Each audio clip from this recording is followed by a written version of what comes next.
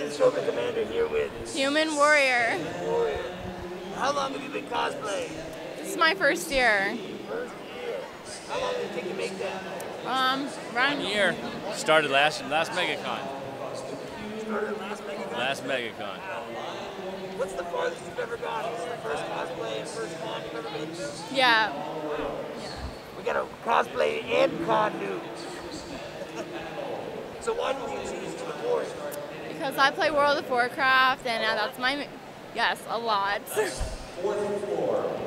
relate to your character in any way? yeah, I'm actually dressed as my main character. I'm a level 100 hunter. A level 100 hunter. Nice.